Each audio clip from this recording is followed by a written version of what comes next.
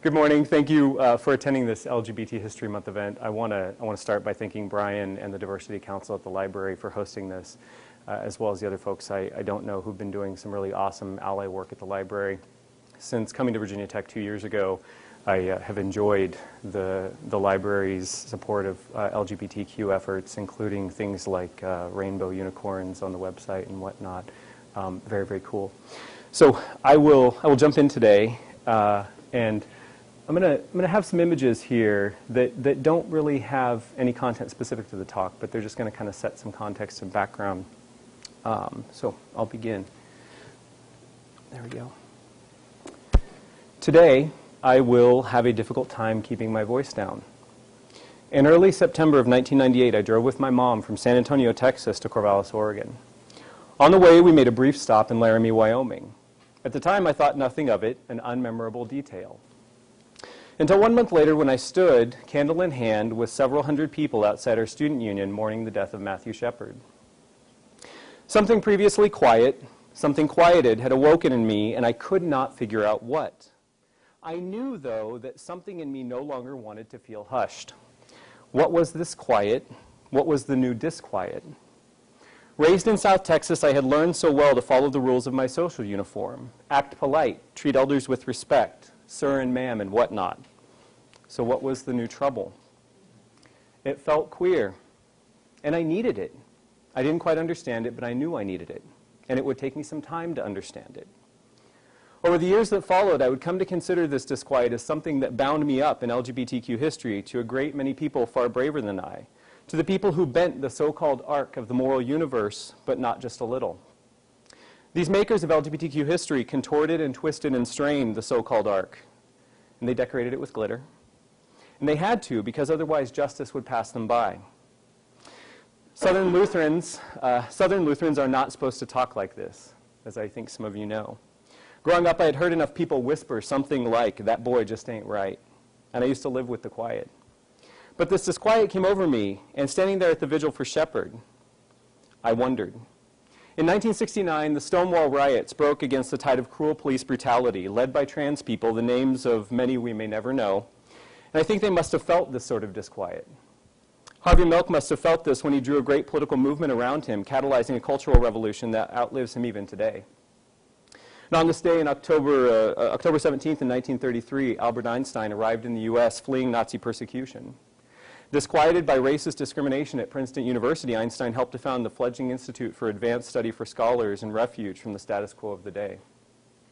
Gwen Smith must have felt this disquiet when she began Trans Day of Remembrance, and Bayard Rustin, too, must have felt something like this on silence when, in the 1960s, he helped to organize the March on Washington. And Gloria Anzaldúa told me once how she chose to be queer, unable to live like she was expected to quietly live. I think she, too, must have felt this. When Audre Lorde wrote in the early 1980s a newsletter to teachers, a brave act in the early 1980s, how there is no hierarchy of oppression, she disquieted the silences of racism among LGBT communities and the homophobia and transphobia among people of color. I think Suzanne Pharr must feel this, so for many years, moving from state to state, she could organize uh, against the mean-spirited ballot measures and cruel political programs. And more recently, Malala Yousafzai, Yusuf, pardon me, Yousafzai lives on after a gunshot wound to the head and chooses to continue to speak out against brutal treatment of women, and perhaps she feels this too. And what do we make of Chelsea Manning and the disquieting act of sharing government secrets to WikiLeaks? What do we do with the disquieting, unsettling queer feelings? To talk of LGBT history without talking about queer history would quietly gloss over our past at the expense of our future. Queer, a silly little word, kind of a sissy or pansy of a term, really, a prissy, impertinent, and incredulous term. The term queer has all sorts of problems. Sometimes it drags along racist, classist, ethnocentric, and transphobic problems. And at the same time, the reclamation of queer as a matter of liberation was wrought by the life and labor and even the bloodshed of real people and imbued with emancipatory potential. Give queer some consideration for a bit and think about what the word invokes. Unruly, disquieting, unpatriotic, playful, campy, irritating, unusual, disruptive, insufferable, strange, oh so strange, caring, slutty, complex, sullen, peculiar, bizarre, freakish, uncanny, and the list goes on. Queer won't fit. Queer often won't feel pride. So what do we do with this? We have this problem with pride in LGBT history and queer, you see. The two don't always get along. Sometimes we gather up our fears and use pride to quiet the queer. Hey, you're a proud Hokie, right? You have pride in Hokie Nation, I'm sure. Let me help you into your maroon and orange uniform, and then you can feel safe. Get cinched up in a tight corset of school pride. Don't breathe too freely. Stay quiet, and you too can belong. What sort of LGBT history do we need to talk about? Do people feel disquieted here at Virginia Tech? Do we let people speak honestly in their own unruly voices? Do we trust one another to feel this way and to do anything about it? How can anyone feel pride here if we have to dress up queer in a quiet, proper uniform? How can anyone act queer if we keep nodding along ever so politely to the numb voices of caution? I think you know these numbing voices all too well. Be professional, they say. We can't move too fast. Wait, the time will come. You want that letter of recommendation, don't you? You don't want to upset anyone that could have consequences. Maybe now isn't a good time. I'm not sure they'll give us permission to do that. Have you given any thought to how this might impact your future? So when you feel like a heretic, do you have anyone to tell who won't try to shut you up? When you try to talk like an honest dissident in order to protect your last shred of dignity, does anyone listen who doesn't then try to round off the unsettling sharp edges or turn down the volume? Maybe I take this too far. Don't we have some LGBT history to feel proud of? A great many people in the history of the school and the state have labored hard to unmake the quiet uniform of stifling conformity. They've taken great risks. In fact, I would have no platform to speak like this today if not for people who have put themselves at risk to queer the forum. Don't we have to regard their work as queer? Yes, of course we do. We also have to think more carefully about the differences between instances and trends. To emphasize only the episodes and instances of queer, disruptive, emancipatory change, that's a different question than the one I think we need to ask. What about the overall pattern of our history here? I do not think we can stop at a question about particular instances. Rather, I wonder, has Virginia Tech had a queer uprising? Has Virginia Tech benefited from anything like the queer movements that cropped up in the early 1990s? From around 1990 to 2004, rising on the shoulders of anti-racist, feminist, disabilities, and gay and lesbian rights movements, things changed on college and university campuses and in high schools around the country. During the era and since, campuses have played host to all sorts of flaming, campy, and flamboyant starbursts of disquieting refusal to wear the uniformity of pride the way a decently ambitious and simultaneously self-loathing person should. An era of lascivious political magic and red Nancy Sinatra boots for some campuses.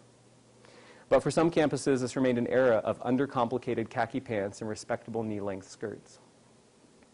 I like to try to predict the exact moment in a talk when the person who organized it starts to wonder, what have I done? We're good, we're good. Maybe in that formative era in LGBTQ community, um, some people started to notice. Sometimes we're fat, sometimes we're poor. My gosh, our skin comes in all sorts of shades, and sometimes we're slutty, and some of us wear hijab, and our bodies don't all have the same parts. Then there's that problem with the way we keep meeting on the internet or in rest areas in public parks since we uh, meet elsewhere and get hurt. And oh heaven, sometimes we gossip in church and sometimes we ask the uncomfortable questions and direct questions or the questions that get shit done. And then a voice comes in refrain from the pulpit, dressed in a dry, cleaned tie set just below a wry, forced smile. We just don't do things that way here.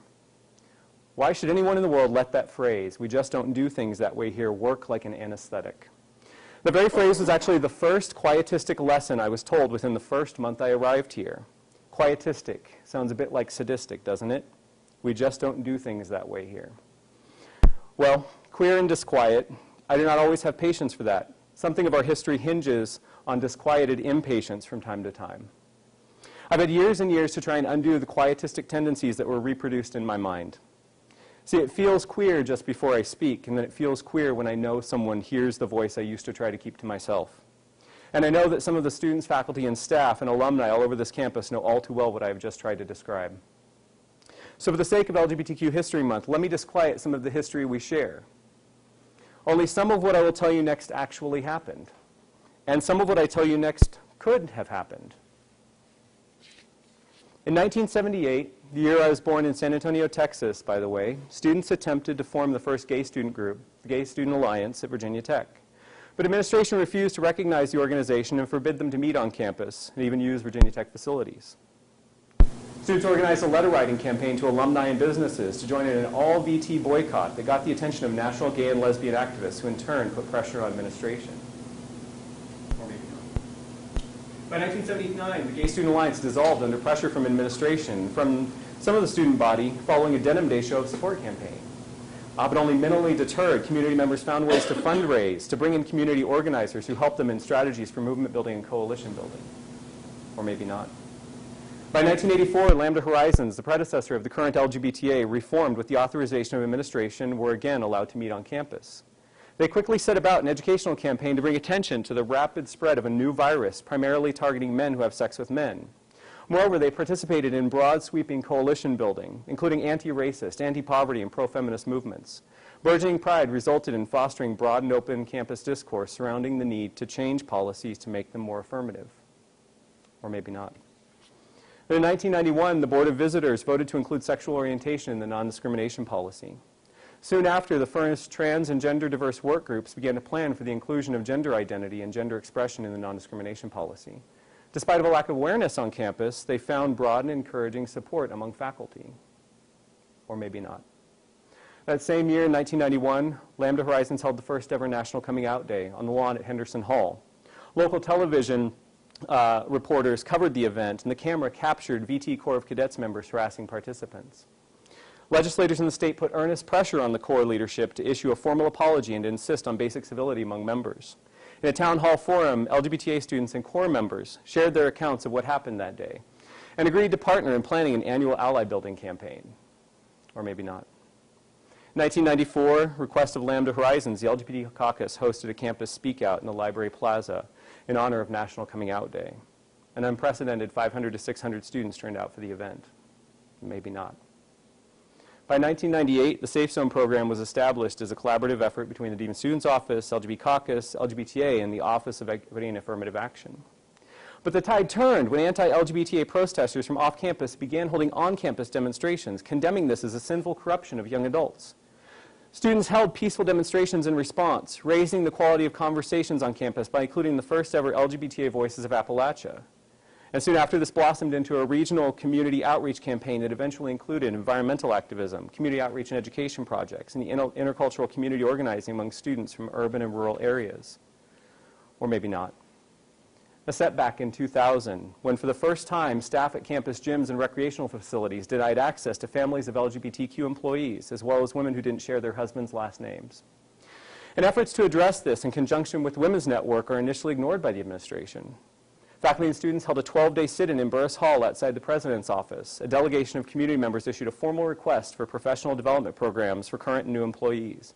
By the end of the sit-ins, administrators supported a revised version of the proposal. Or maybe not. In 2002, the university hired the first openly lesbian senior administrator. But unfortunately, the board takes action to deny an academic position to her partner. Initially, faculty organized teach-ins to educate students about the detrimental consequences of workplace discrimination. With growing pressure from anti-LGBTQ organizations off campus, administrators equivocate about challenging the BOV decision. Students gain the assistance of community organizers in hosting accountability sessions with the board.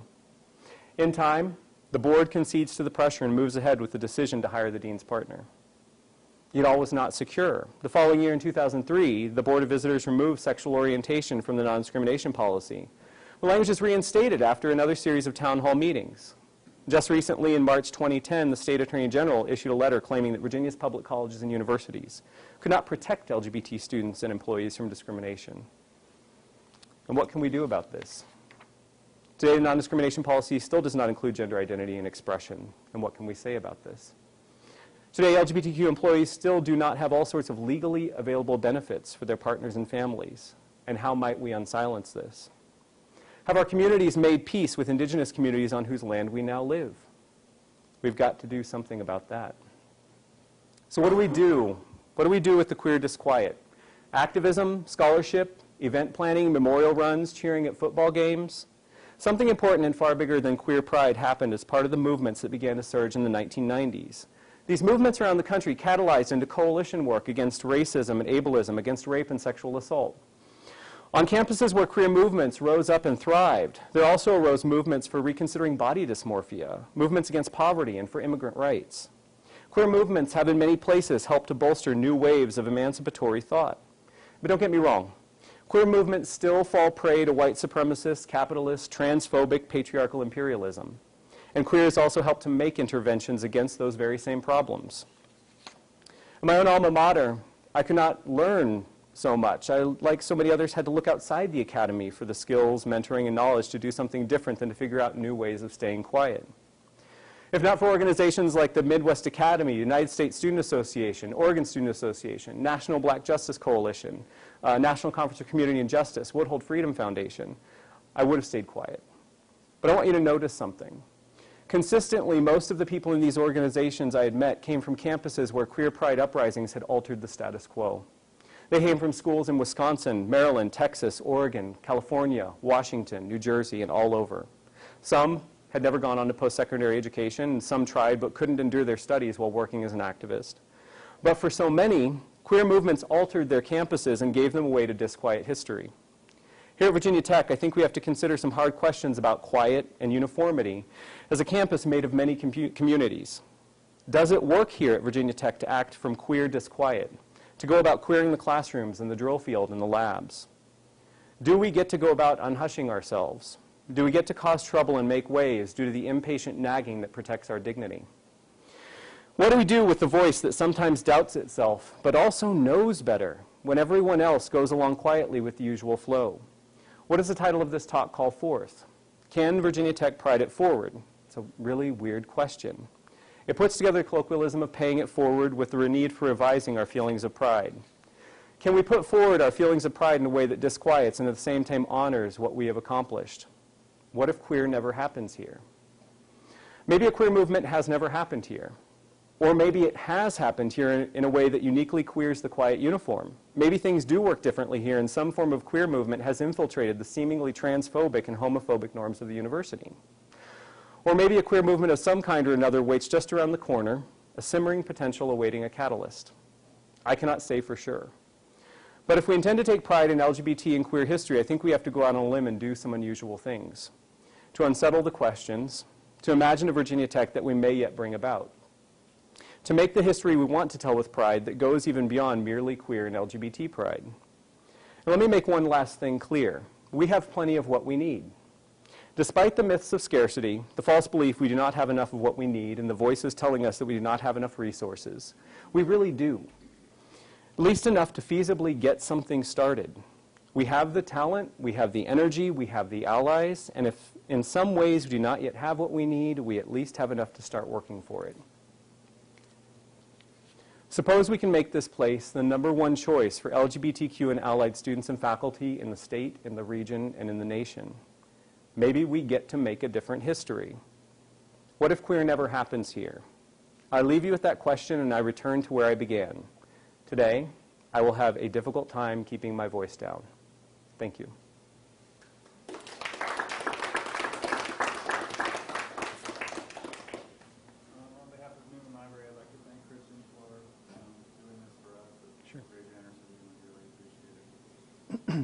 My pleasure. Yeah, thank you. Questions, reactions, a slide you want to see again. They'll come back around.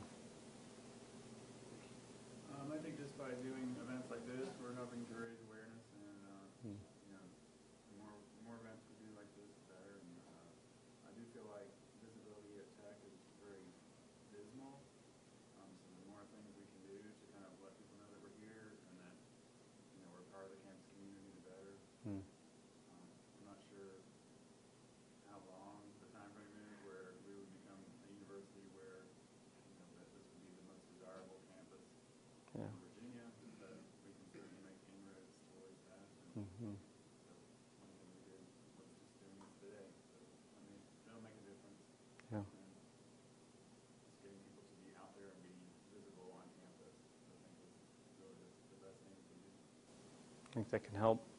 Uh, one of my one of my mentors, you know, somebody I haven't spent a lot of time with, but the bits of time I've spent with her have been incredibly influential. Um, Suzanne Pharr writes about vision. Um, if you could imagine the best of all possible circumstances, you think, what would this be like if, if we had everything we need? Um, you can take some time to do that. And you see that, you know, 15 years ago, 20 years ago, um, events like this may not have happened. So pay attention to the progress, but also imagine what this could look like, and don't forget to do that vision work. Yeah. The colloquialism, don't rest on your laurels. Is that what it, is that what it does? Yeah. Yeah, Corey. So I'm always hesitant to, um, as you suggested, uh, use our imagination. Try to try to, to look beyond the boundaries that we've internalized. Uh, I'm always afraid to do that on behalf of the community I- I'm not um, a member of, Mm-hmm. um, because I because I'm well aware of how my own biases are going to slant my view of what Sure. of what's possible or what what needs to be done. So um, while I've seen a lot of um, ally rallying. Mm-hmm. I haven't seen as much um, allied direction giving and guidance. Now, that's not to say that it's any single person's or entity's responsibility, but um, I wonder what's in your impression, and where can I go to get more people's impression? Sure. Uh, should we be? Okay. So, yeah, so um, I'm going to I'm to give some of the context first. Uh, people who want to do ally work, right? Some people have motives to do ally work, interest in ally work. Um, we worry about our own biases. We worry there are ways to mess this up, particularly if we don't come from a community, right? We don't come from a community where we've grown up in the circumstance and we share the circumstances. I think that's some of the context or some of the concern. And then the question, where can I go to, to get to do something about this? Um, so you've opened this door for me, which is where I get to respond and say, I, you know, here's, here's what I've seen work.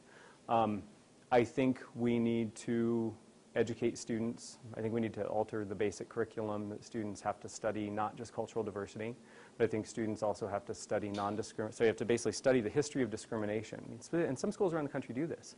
Coursework that requires them as part of their core requirements to study a history of discrimination in the context of the U.S., not externalized to some other country. So we changed, we actually changed the curriculum. Um, we changed the job descriptions, completely legal to say we do not hire any senior administrator or managerial personnel who hasn't shown a demonstrated commitment to social justice or diversity. Completely legal if it's a priority.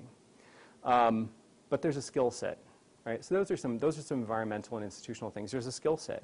Whether we call it uh, human relations facilitation or intercultural dialogue or community organizing, there are actual methodologies, ta- tactics, skills, strategies that people have been working with for over a century now, at least in the Western industrialized world, and much longer before that, um, that help.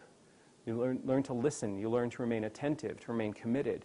And so the mistake, I think, would be to hear what I just said as something like a lofty gesture at some cool values or ideologies.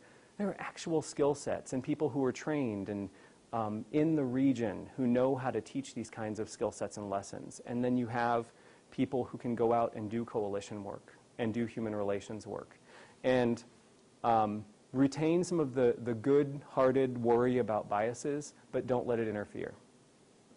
It informs you, it educates you, but it doesn't hinder, it doesn't cause setbacks. I'm so paralyzed, um, like to use a better term, incapacitated with identity politics that I can't act.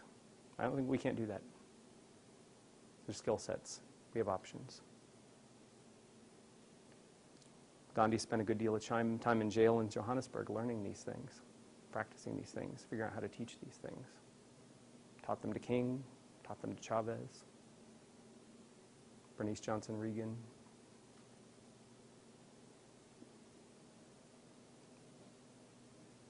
I will take you to Richmond and to D.C., and I will teach you to lobby. Just be my full time job. I can help you make posters. We'd have to want to do it. Josh. Are there any, I guess, informal ways to get the skill sets out other than you know, hardcore kind of meetings, like four day events, where you pretty much go through the, that's the transforming way that you intuit what's going on in certain situations? Like- Or even yeah. something like Safe Zone. I mean, are there, yeah, what would be the informal way, I suppose, to try to get the skill set? So how do we, how do we get skill sets without every one of us ditching our current careers and going basically into the full life in order? It's, it's, a, it's an efficiency issue. Things I want to do with my life, and this, this won't, maybe this doesn't work as a commitment, but geez, I really see why we need to do this. It only takes a few.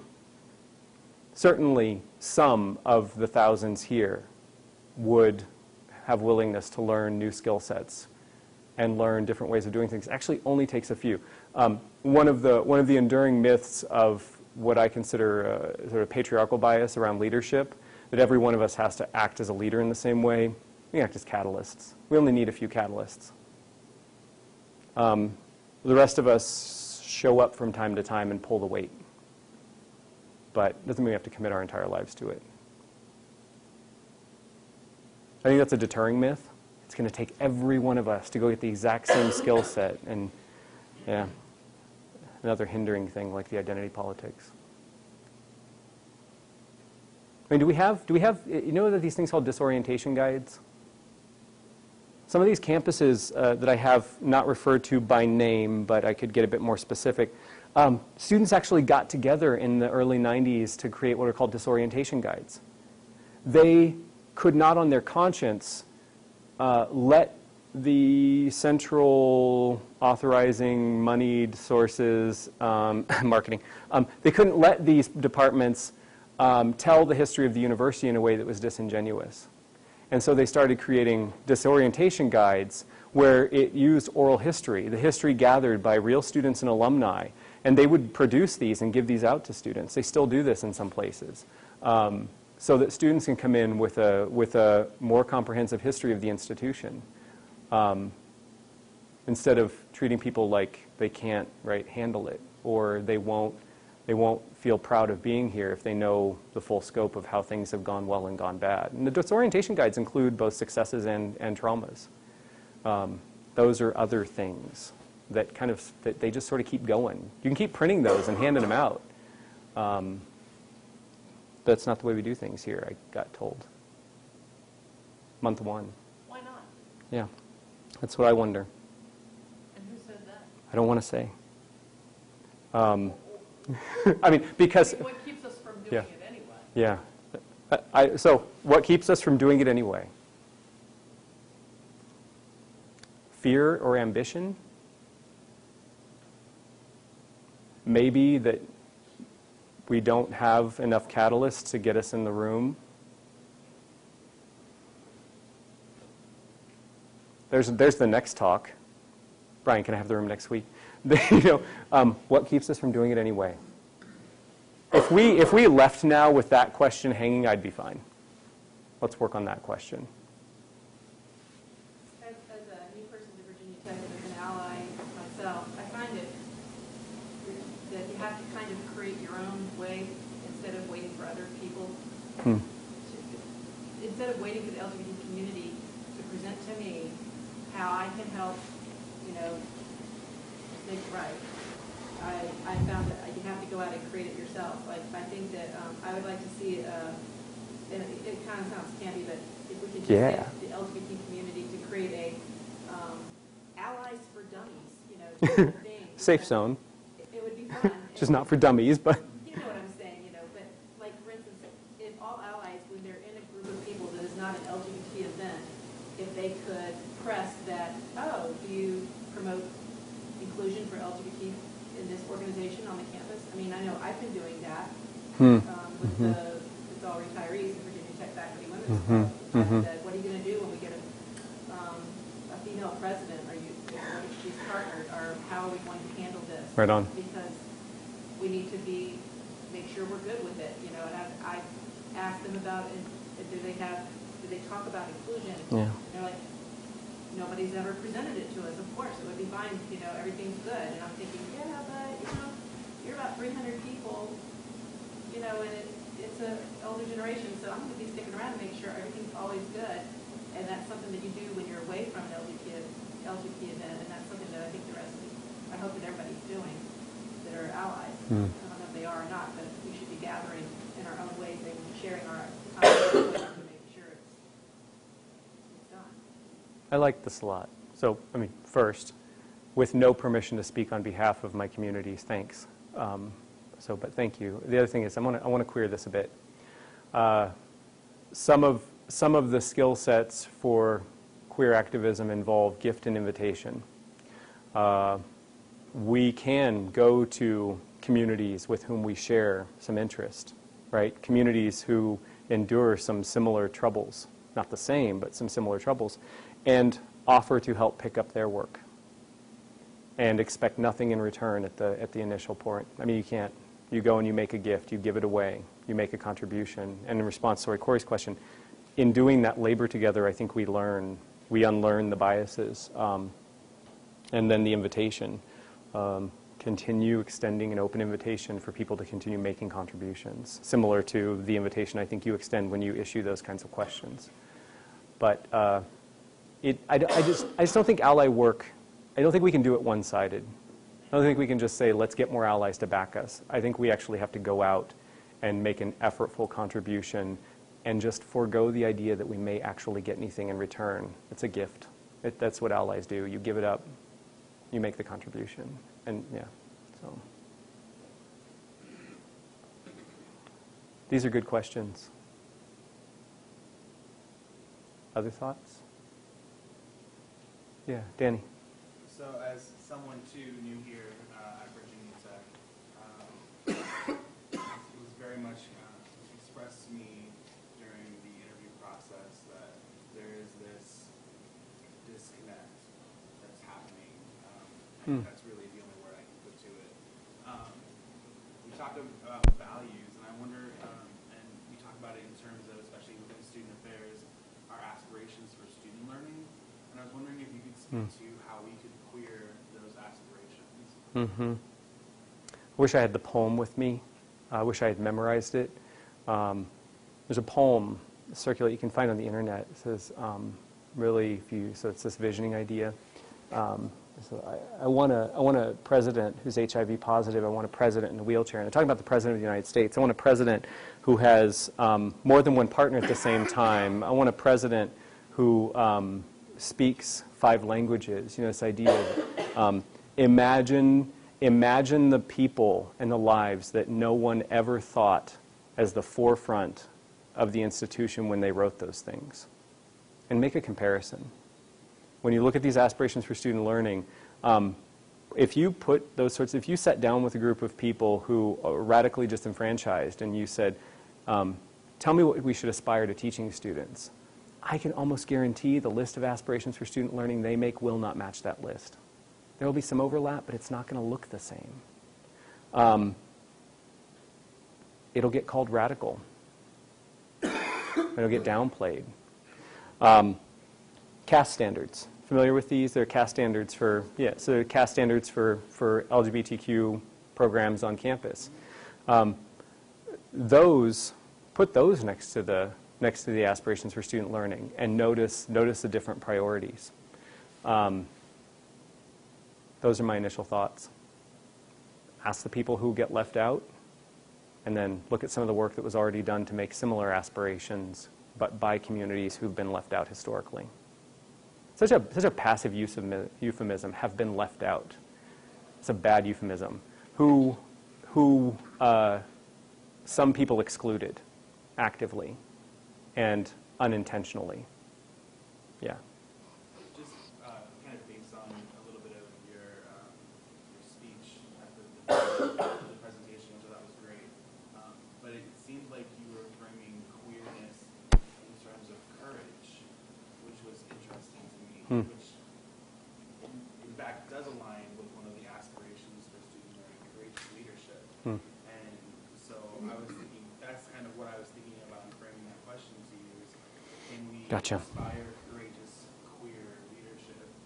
Um, how, how do we queer courageous leadership? All right, all right. So the question, how do we queer courageous leadership? How do we inspire courageous leadership when courageous leadership appears in the aspirations for student learning? Uh, whatever version, when I hear, when I hear courage, uh, I want to I wanna queer that, like you're saying, and think revolutionary. Let me, let me eh, think about this. Um, let's do something revolutionary. Let's do something transformative. Get under that. Get under the skin of that. What actually counts as revolutionary? I think revolutionary acts are the kinds of things in which you um, you act with no guarantee. You demonstrate the willingness to give up the way things have always been with no guarantee that things are going to get better, but the hope and determination to make them better. That kind of revolutionary courage, I don't think they had that in mind. Maybe they did. But think about that. Imagine if somebody said to you from day one, imagine that you could help make us this, this place, make it better, the number one place, by um, letting go of the comfort you have, the status quo you have. Give up the way things have, have worked. And let me help you develop a commitment to making it better. We have no guarantee there. We're just going to try. I think that differs from courage. But again, if we ask people who some have excluded, I think they would have a different story than I do, and we should listen to that. Sure. Yeah. Thanks, Danny.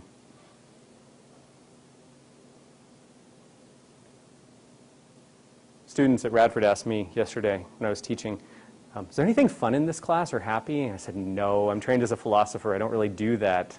Um, but you'll get something, right? There's, some joy in there. Um, I take that as a, I take that as a provocation. I need to calm down a little, maybe. Deliver. I, yes? I'm a guest here, a visitor, and I don't identify with any Hokie or any Hokie Bird, etc. And I, to some extent, unfortunately, I wasn't familiar with many of the pictures. I'm not Okay. American and I'm not a gay man. Where. I'm coming from, there are organizations which are responsible for the management. It's a big word for, sometimes people perceive it to be a bad word, but although I advocate it, for the management of queer history Hmm. and the management of queer modern history, queer heritage. Mhm. And it's actually managed. And most in such a meetings, I think the proportion will be that most of the people that to attend the room will be heterosexual people, Mhm. will be highly involved in. What to do with gay identity in the public arena. I'm asking you because, not because uh, from, from a university where everyone who has these colors, like I think four out of five students have this, one of those colors on them, I wouldn't have any expectation.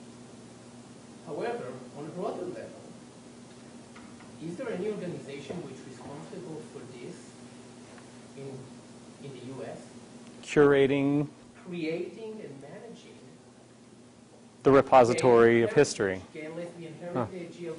Yeah. Sure.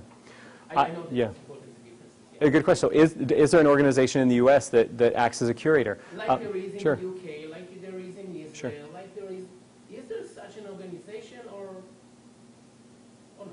I may have to pull from the, it- this is a good question, I may have to pull from the knowledge in the room because the Stonewall Center, so Stonewall Center in New York, National Black Justice Coalition, National Gay and Lesbian Task Force, and Human Rights Campaign have done historic, but, but it's funny, um, I can't think of the one. Like I can't, it doesn't, it doesn't jump to mind, you know, so that's, that's an interesting provocation. Like, gee, shouldn't I, if we did have one, ought I not know about this? and I'm sad, but I'm happy. Yeah. I'll give you, when I've done my study about the coming from the area of public memory and tourism. Yes, and okay, okay. And when I've done the study about, I think that any community needs to have a space, not a virtual space, a real space where they feel that it's part of their own heritage. This is my theory. Mm-hmm, mm-hmm. And to be militarizing, specifically in this university, a space which they regard, even though they are secular, as holy and even ready to fight for it. Hmm. While I've done my study in Stonewall, you maybe, you maybe you won't be shot. Actually, this Hmm. location um, is recognized as a heritage site. But I spoke with the owner as part of my fieldwork, Where, where is this again? Manhattan. Okay, in that one, the Stonewall. Center. Okay, Yeah. okay. Um, and he told me that he's afraid to put a sign on. I told him, coming all the way from Israel to this space because they think that it's a gay site, although it's supposed to be more linked to the women and, and lesbian women specifically. And he says, yes, I'm, I'm afraid to put it. So you, as an advocating the Hmm. certain ideological framework on the certain context of this university, why do you criticize this university if this nation hmm has no real heritage site and not a place where you can Sure, have coffee sure. or sex? Sure. A real queer Maybe on the other floors, but not the main floor. Yeah, yeah. What a good question. So why, why criticize this university when our broader national, we don't, we don't have a national institution? We, we, don't, we don't have an institution for the integration. We've never had a desegregation integration institution in this country. Right after the, I'm just going to kind of come back around to your question. Right after the end of the Civil War, there was briefly an institution that, that was you know, tasked to do some integration work, but that was just radically destroyed very quickly. Um, we have all, there are all sorts of institutions, but as, a, as an act of liberation, and so this, this comes out of Latin American thought and liberation, as an act of liberation, uh, sweep your own front porch first. I, I, sweep, sweep your own front porch first. This is where I work. This is the place. I'm going to look at the ground on which I live first. And that, right, that one part does not do all the work. I need to criticize here because I live here, right? But I also, I also have some need to, to get to DC and Manhattan and ask some other questions. Like I rely on creating change or, or a National Gay and Lesbian Task Force. I rely on some of these organizations to do this work, but I mean, when I, when I hear what you've just said, I think, gee, I should lobby them for this. People who, who allegedly represent the communities to which I belong, off and on, I should lobby them to help me out with this. I don't know, that's my reaction. I have to think more about that. I want to tell you that in, in the context where I'm coming from, actually, uh, for what's called grassroots heritage, hmm Yes. many members of society can enjoy from such an initiative. hmm And many not. Yeah. But here is a political fight, and specifically in this country, where uh, money talks, you have a very good chances to make it. Hmm. Hmm. We should think about this. Right on. Thank you. Yeah. Please. Um, There's the- there's the National Gay and Lesbian Task Force. Right. Dot org, the NGL, NGLTF dot org, and it has um, all the information on what our public policy and government affairs are, including things like with the, the census records, when they do the census Sure. every ten years, including people listed Mhm. as partners. And there's a lot of really good information on there if you wanted to like look into what's going on with the government. But As a guest, as an observer, Yeah. as a visiting scholar, Oh, okay. my observation is that I'm actually astonished Mhm. that um, thank you you. don't have a space, a heritage space. And my, based on studies about identities and political identity, every community needs a space. On the mall in DC, like on the National Mall. I'm curious what you have in mind. Like, like when you go when you when you go down the mall in DC, the museums, the the heritage sites, something. video, but one can, and I'm from the industry who creates and sometimes invents heritage. Mhm. I can give you many examples all over the Sure. Europe and in Israel, Sure. which made. it- I can give you an example where for a tree, Mhm. if a tree will be planted, based on my surveys, it Right. could be a heritage site. Right. In Israel, there is a major museum for the Holocaust, And we and, take and all, all the communities that have been murdered. right. And one tree which will um, planted there with a gay flag hmm can cause people like yourself take the airplane and to go over there and identify with it and feel as a community. Hmm. While here in this city, I wonder, I don't know. I see. You have all these, uh, this parrot, this Hokie Bird, all over the city. Is there one with the gay flag on it? I'm asking. I don't know. I'm a guess. I have not seen one. You know, ten percent. There's a, there was an image of one in here, but yeah, no, I've not seen one. One Yeah, in the, oh, everything should be with, even this symbol is with this color. sure. I guess we'd have to we'd have to mm, also follow the good example of taking youth to these sites. Right?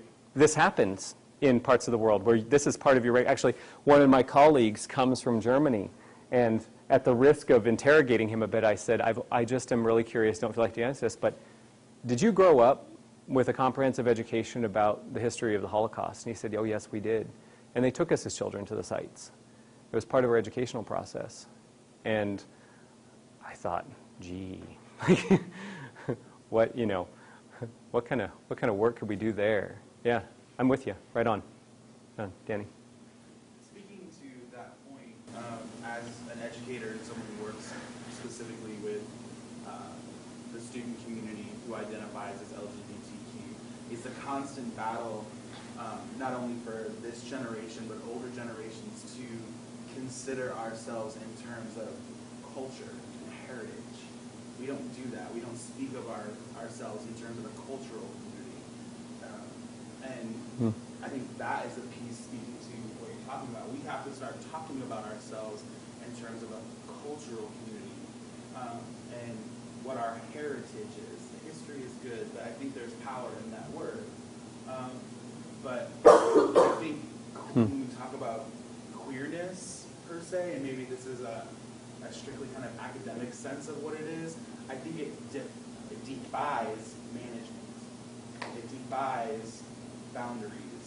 Um, and maybe that's part of the struggle. Um, Hmm.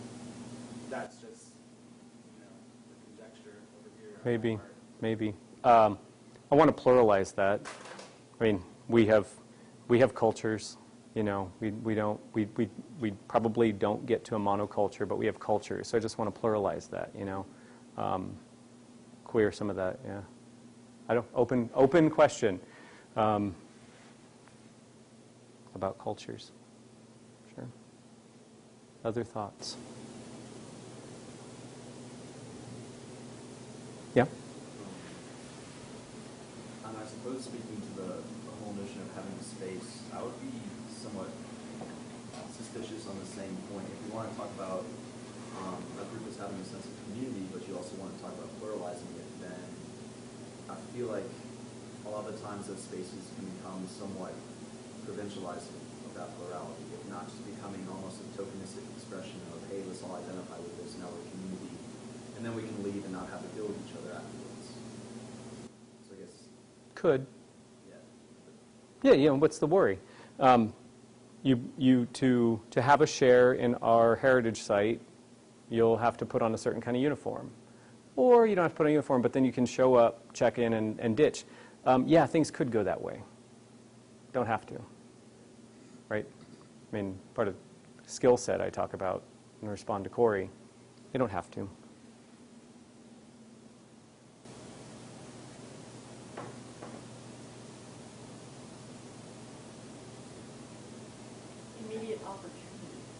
Mm-hmm. What would they be? I mean, you know, we've got right in the middle. month, where we have uh, a meeting scheduled with the French. We have Jay and Community Mentoring. You know, stage opportunity. How, what, what's our best, you know? Take a couple minutes, how do, how do we start? immediate opportunities. Uh, so I was taught after wrestling with the disquiet and then having to figure out I was only going to get some of the pieces from school, going out to these organizations that then trained me. I was taught you have to think of every immediate opportunity in terms of a long-term movement. You can't, you can't do, you can't separate them. Um, I was also taught never go to a meeting without a sign-up sheet. You never go to a meeting without a sign-up sheet. And you never go without somebody prepared to invite people to contribute. And this, I think, would take people on campus getting together and saying, what's the invitation we want to extend? If we're going to take little sign-up sheets for people to join on, or at least join some kind of listserv, um, figure out what invitation will get people to know. Uh, the immediate opportunities, I think, involve just generally the long-term, so immediate opportunity, invite people to, to join in the conversation, long-term movement building, long-term capacity building. That's the first. Um, should not go without saying that when we're in the process of hiring a senior administrator, we probably can come up collectively with all, we don't have to agree, actually, we just don't have to agree. We can come up with all sorts of questions provocative questions, queer questions, uncomfortable questions. And for posterity, the questions have been asked. Those, those two jump out. Um,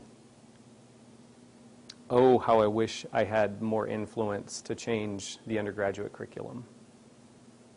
If our students had to study as part of the core requirement, we said it was a priority that they had to study the history of institutional discrimination in this country from a perspective on power and difference and discrimination. If we had to do that, those, the things that students learn would require the rest of us to behave differently.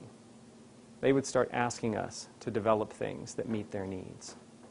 Does that make some sense? That's, a, that's not an immediate opportunity, but it, it um, so I'll confess, I came from a school where that was a requirement.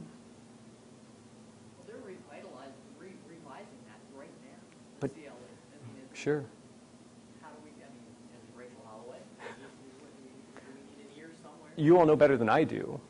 I'm supposed to write and defend a dissertation. Like, I, I'll, you, you all who know better, you say, I'll show up. Like, and you say, I'll show up, I'll say the hard things.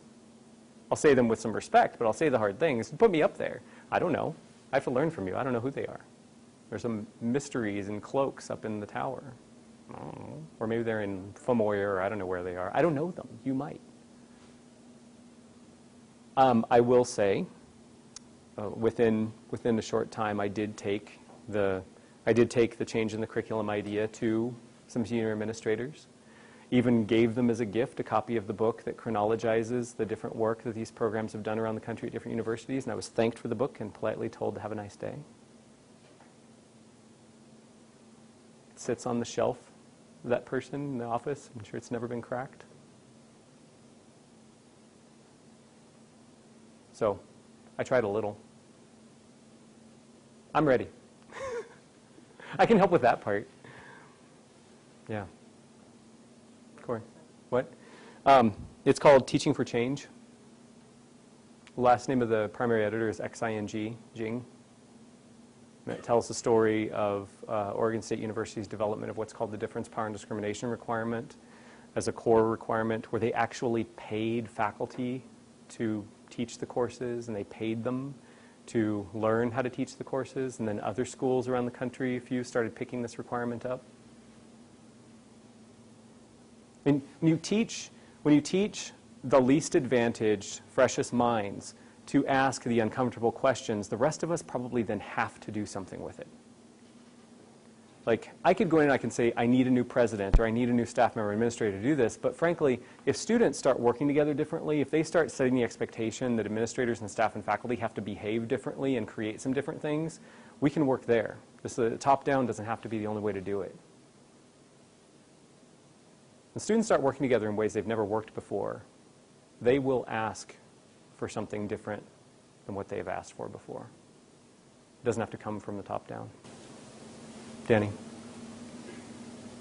I wonder, um, in terms of speaking about curriculum within the institution, I wonder does that then make the conversation, or does it take on kind of like a class type issue? Like, is the issue waiting till like it's a college to start having these conversations?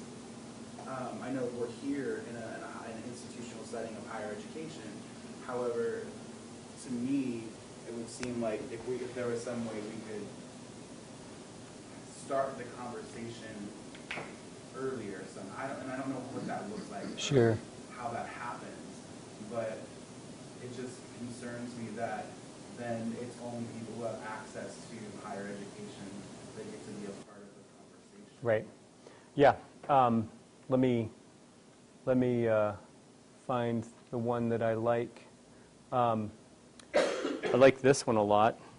Uh, only some people got to do this. Right? I mean, you say drag it out in the open. Only some people get to do that.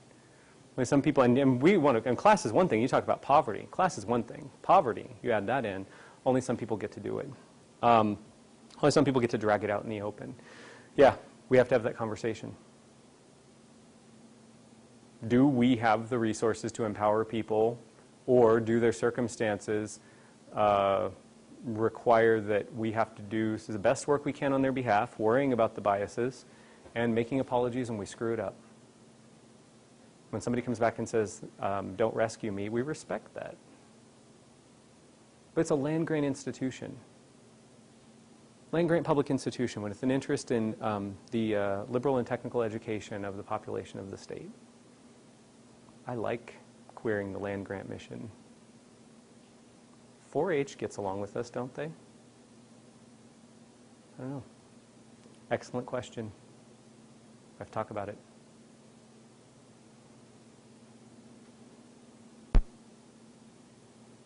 You also give a talk like this, and you see the facial expressions of the audience. I was trying to evoke some smiles. Good. There were a few. Yeah, Ross.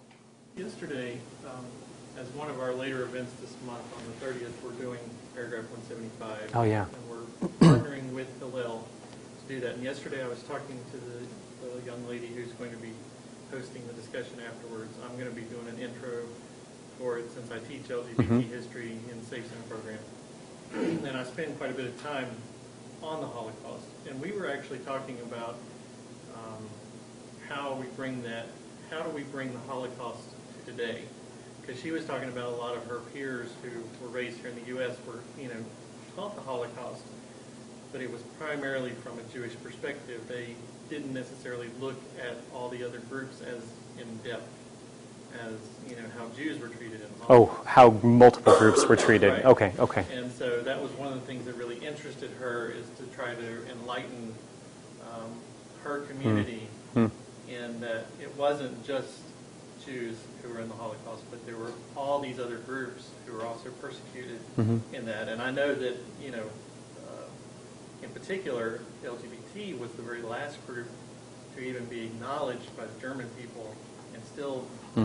There have been no reparations to them versus other groups. So she was thinking about in the discussion, and I'm interested to see what questions she comes up with, and hopefully you all come and see what questions she comes up with too.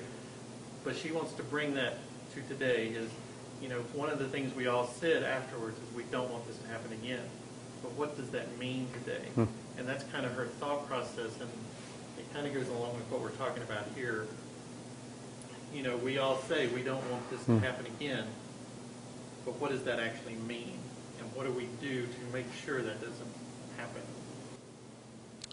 Anti-LGBTQ apartheid continues to happen all over the world right now. You know, um, I'm gonna I'm gonna wind around.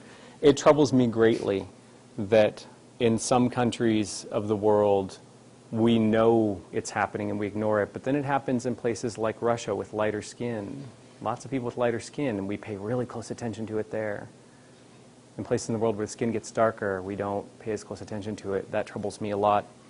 Um, what would you see as a need?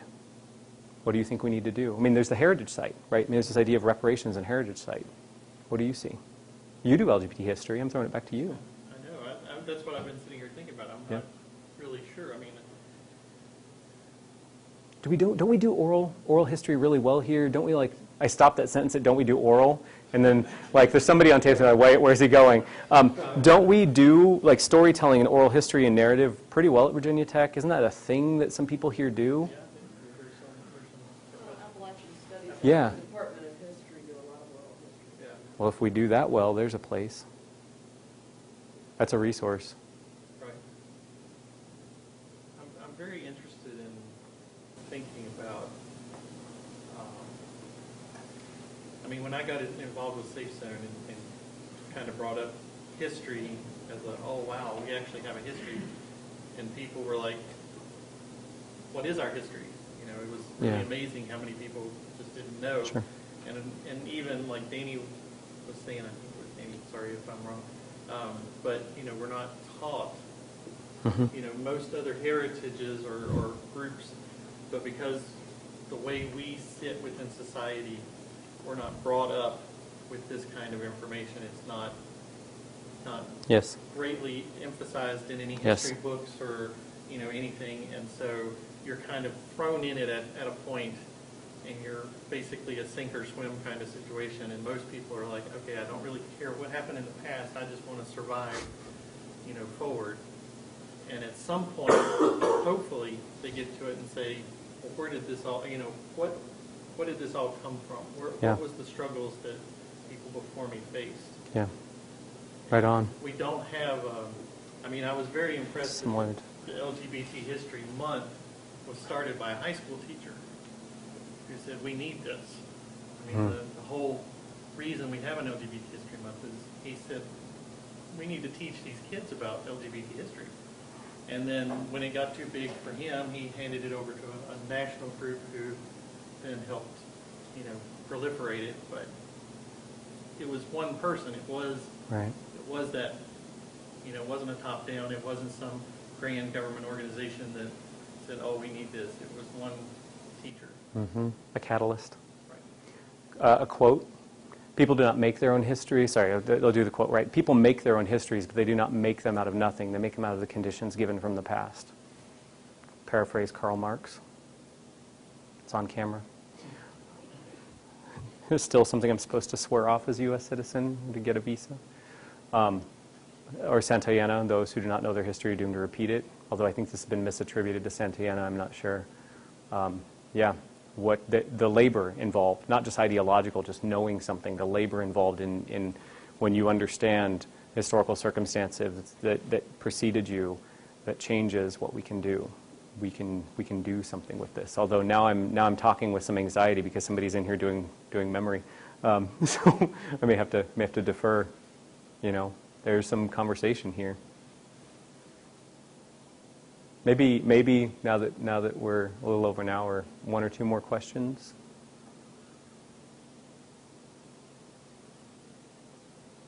This is just kind of a silly question, but if we were to have the rainbow Hokie Bird, would it stand on campus without vandalism? Or would it, I mean, wh- what would actually happen? Maybe that's a project we could actually try Yeah. and see, you know, something as simple as that. Sure. See if we can get it right in that chapel. right there, right in the chapel or out front. Let's see. Let's give it a try. Um, or like, like, it can have like some rainbows, but it'll be in some sort of like wedding dress. It'll be fine. You know, this will be fine, or something, or a tuxedo. Um, Maybe partnering with the visual arts department, which has not really been a priority of the curriculum at Tech. Mhm. Doesn't have a profound effect, I feel, on visibility, mhm.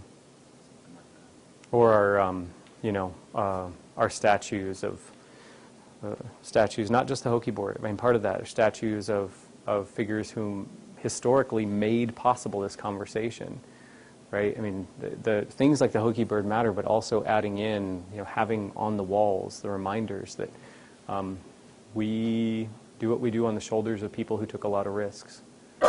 So yeah, I'm I'm I, I'm cool with it. I'll show up. I'll also gladly sit with the people who are like, "Why are you putting that in the chapel?" Um, yeah, please, and then Danny. So I guess the last two comments, and then yeah, I want to relate to the comment as to where to put this symbol of identity. And here comes the issue of management of heritage. And those things that, which are not done simultaneously. Right. One should think about what to do and how to. Just for the sake of the example, in the, the big memorial in, in Berlin, in, in Germany, about the, all the people that were murdered in the Holocaust, a decision was not made until they found the right plastic, the right nylon, the right material to make the status form. Hmm. Because one has to think what happened the day after where people will decided provocatively to Peter or to use a spray to, for graffiti reasons. So those, the things that you mentioned, where to put it, those are things that's supposed to be highly managed and, and huge amount of research should be done where to put it in such a way it will benefit from it and it's a question who will benefit and how will benefit rather than you will say okay I built the status and the day after it was uh, destroyed and the day after two kids were uh, being eaten here because they were recognized or thought to be gay men.